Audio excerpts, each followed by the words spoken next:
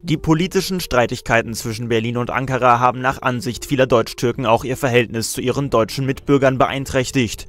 Der Umgang zwischen Deutschen und Deutschtürken habe sich in den vergangenen Jahren verschlechtert, sagten 52 Prozent der Befragten in einer repräsentativen Umfrage des Norddeutschen Rundfunks. Als Grund gaben 59 Prozent die Regierungsstreitigkeiten an.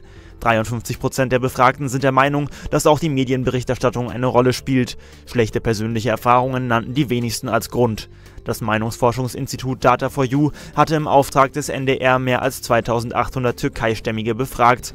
Nur 12 Prozent gaben demzufolge an, dass sie die deutsche Kritik am türkischen Staatspräsidenten Recep Tayyip Erdogan für berechtigt halten. 44 Prozent halten die Kritik an Erdogan nicht für gerechtfertigt. So sagte eine Deutsch-Türkin dem NDR über Erdogan, Zitat, er kümmert sich um sein Land, seine Leute, auch die, die im Ausland leben. Der Großteil der Befragten gab allerdings auch an, sich in Deutschland wohlzufühlen. Den Ergebnissen zufolge macht es kaum einen Unterschied, ob die befragten Türkeistämmigen in erster, zweiter oder dritter Generation in Deutschland leben. Data4U nannte als wichtigsten Unterschied den Bildungsgrad. Demnach seien höher Gebildete besser integriert und stünden Erdogan kritischer gegenüber. Bei den weniger gut Ausgebildeten stiegen die Sympathie und die Zustimmung für die Politik Erdogans sprunghaft an.